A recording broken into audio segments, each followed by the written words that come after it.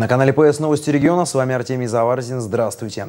Завершена регистрация кандидатов в депутаты областного собрания. До выборы пройдут 21 мая. Напомним, бывшие региональные парламентарии Александр Савкин и Сергей Мышков, Мышковский сложили свои полномочия из-за уголовных дел, а Андрей Палкин стал депутатом Госдумы. Изначально на три вакантных мандата претендовали 14 человек, из которых самовыдвиженцем был только один. Но регистрацию не прошел, вовремя не предоставив документы. Дополнительные выборы 21 1 мая пройдут в Архангельскую городскую думу. Дмитрий Юрков был избран депутатом Госдумы. Там на одно вакантное место претендуют 8 человек. В Архангельской области начались ледокольно-взрывные работы. Первые в этом году были проведены на реке Пиниги в районе деревни Нижняя Паленьга Холмогорского района. Рядом с Нижней Палингой река делает крутой поворот. Лед во время ледохода упирается в берег. Чтобы избежать заторов, ежегодно в этом месте работают взрывники. Ледокольные работы проводились с целью ослабления льда, чтобы во время ледохода э, избежать э, заторов. Сегодня было подобрано порядки, порядка 60 зарядов. Общая протяженность линии составляла 600 метров. Лед хороший, крепкий, значит, э, толщина порядка метра. Основная же часть взрывных работ будет проведена в Котловском и Красноборском районах, куда архангельские специалисты Центра гражданской защиты отправятся 12 апреля. А с 17 апреля в Онеге подорожает проезд в общественном транспорте. Теперь одна поездка обойдется онежанам в 22 рубля. Как пояснили перевозчики, столь непопулярная мера связана с повышением цен на бензин и запчасти, а также уровня зарплаты персонала. Изначально предприятие «Онега Автотранс» обращалось в региональное агентство по тарифам и ценам с просьбой увеличить тариф с 20 до 23 рублей за одну поездку. Но это предложение поддержано не было. В итоге билетик будет стоить 22 рубля. Воздушная гавань областного центра на пороге больших изменений. Аэропорт носит статус международного, а потому и выглядеть должен соответствующе. Для этого на привокзальной площади началась серьезная реконструкция. Об этом рассказал генеральный директор аэровокзала Ваге Петросян. Так будет заменено асфальтовое покрытие, созданы специальные зоны для общественного транспорта и такси, появятся новые парковки для частных авто. Реконструкция привокзальной площади позволит избавиться от пробок и упорядочить движение транспорта в аэропорту. Будет э, даже зеленая зона для, для прогулок, потому что у нас жители э, и городка, и городка любят э, ходить, гулять, смотреть, как взлетают самолеты, а, соответственно, нет таких э, удобств для того, чтобы они могли спокойно с детишками погулять. То есть там будет что-то очень похоже на скверик, то есть зеленая зона. Ремонтные работы планируется начать после того, как полностью растает снег и завершить их к предстоящей осени. Правительство России на развитие областных дорог выделит 10 миллиардов рублей 49 регионам. Цифры озвучены на заседании Кабинета федеральных министров. Больше всего получил Крым – 1 миллиард, меньше всех – Ненецкий автономный округ – 63 миллиона. А Архангельская область получит из федеральной казны 190 миллионов рублей.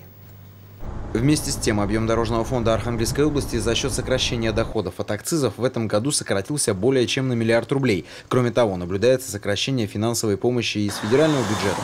Стоит заметить, в минувшем году объем регионального дорожного фонда составил свыше 6 миллиардов рублей.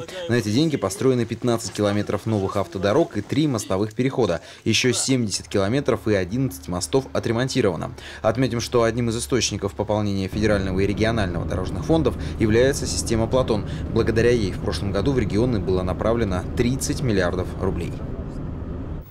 Северяне присоединятся к акции против террора. В субботу, 8 апреля, в Архангельске на площади перед Театром драмы пройдет акция «Вместе против террора». Напомним, 3 апреля в Санкт-Петербурге совершен теракт, в котором 14 человек погибли и более 50 получили ранения. Северяне не остались равнодушными к трагедии в питерском метро, унесшей жизни людей разных возрастов и профессий, приехавших из разных регионов страны.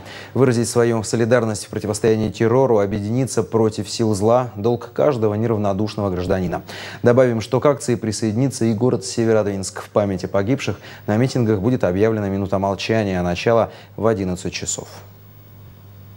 К другим темам уровень инфляции в Архангельске ниже, чем в целом по России в Северо-Западном федеральном округе. Об этом журналистам рассказали сегодня на пресс-конференции в Архангельск, кстати. Индекс потребительских цен в северных регионах в среднем ниже, чем по стране. Так, самый низкий показатель в Республике Карелия – 104,3%.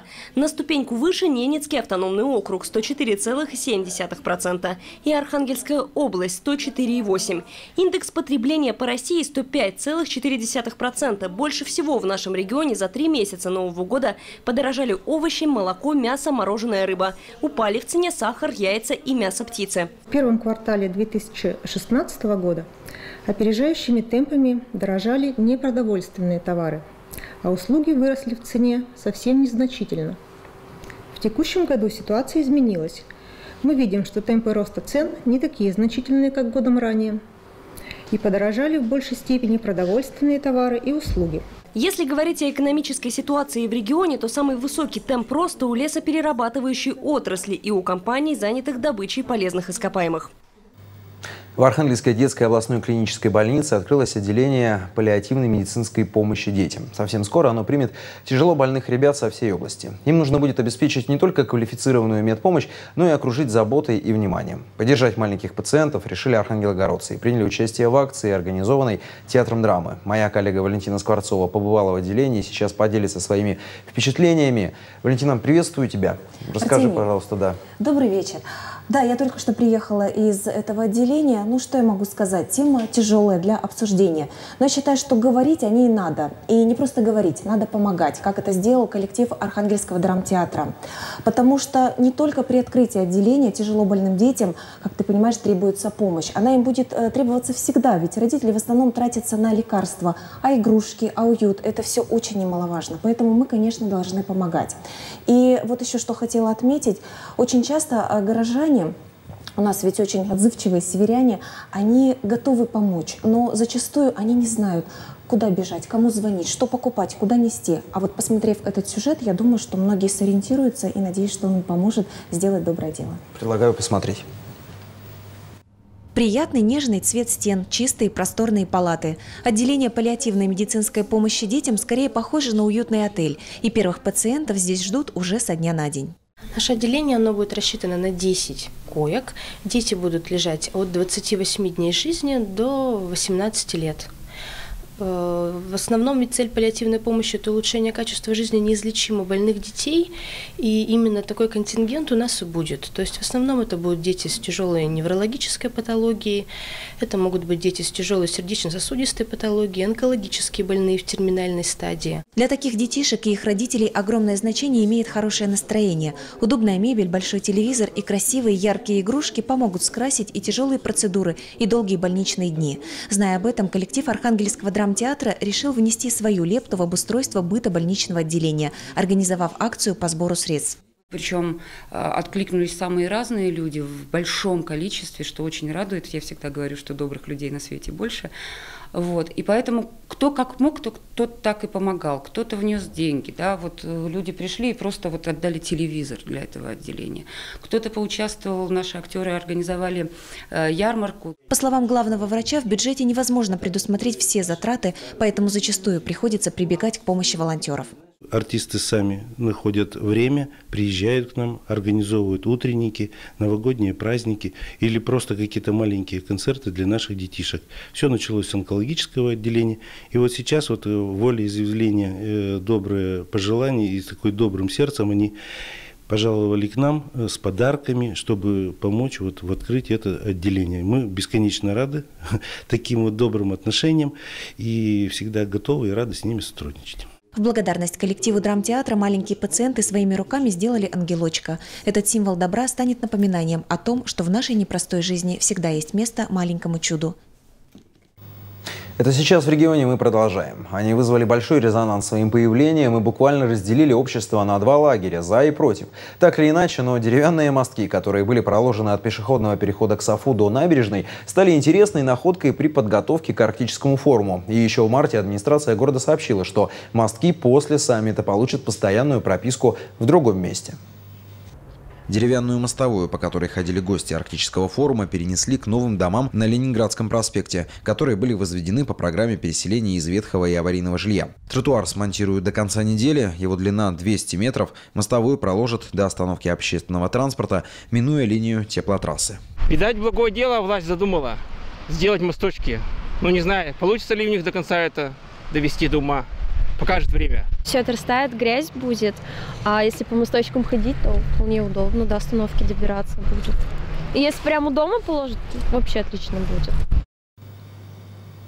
В музее ИЗО готовится к открытию уникальная выставка, посвященная одному из самых противоречивых течений искусства 20 века – поп-арту. Нашей съемочной группе удалось понаблюдать за процессом создания выставки и первыми увидеть, какие произведения ожидут посетителей. Реклама, модные тренды, знаменитые личности. Все, что окружало людей западного мира в середине 60-х, находило отклик в творчестве поп-арта. Такая тематика явилась настоящим вызовом для привычного понимания роли искусства. Поп-арт регулярно подвергался критике, но он не только выдержал ее, а еще и стал олицетворением истинного искусства прошлого столетия. Поп-арт – это настоящий символ 20 века, это символ изобразительного искусства 20 а, века. И, конечно же, это настоящее культовое течение, которое, я думаю, что должно обязательно привлечь свое внимание. Главной целью поп-арт ставил а, интерес к массовому искусству, и поэтому это массовое искусство, конечно же, должно быть интересно и архангельскому зрителю. Выставку поп-арта столица Поморья увидит впервые. Посетители смогут по-новому взглянуть на, казалось бы, привычные и обыденные вещи, и в то же время погрузиться в эпоху 60-х годов прошлого века. А работы таких знаковых представителей направления, как Энди Уорхол, Рой Лихтенштейн, Роберт Траушенберг, окажутся знакомы даже тем, кто далек от искусства. Множество выставок сделали. Это одна из самых необычных выставок, потому что она как бы подойдет и для молодежи, и для тех, кто уже там тех времен, когда были битлы и все такое. Помимо ярких работ творцов в стиле поп-арт, посетители смогут увидеть произведения современных художников в родственном стиле стрит-арта. На выставке будут представлены работы легендарного английского художника Бэнкси, а также его коллег по ремеслу из нашего города. Я занимаюсь просто стрит-артом и граффити, а поп-арт э, э, контачит как бы со стрит-артом, я так думаю. Поэтому тут достаточно интересные художники будут выставляться. И моя работа тоже будет рядом с ними висеть. Свои двери для посетителей выставка «Поп-арт» откроет 8 апреля в 6 часов вечера в Музее изобразительных искусств. Михаил Меньшенин, Евгений Языков, «Автограф дня». Итоги четверга подведем в 19.20 на канале ТВ-центр в программе «Автограф дня». Не прощаюсь.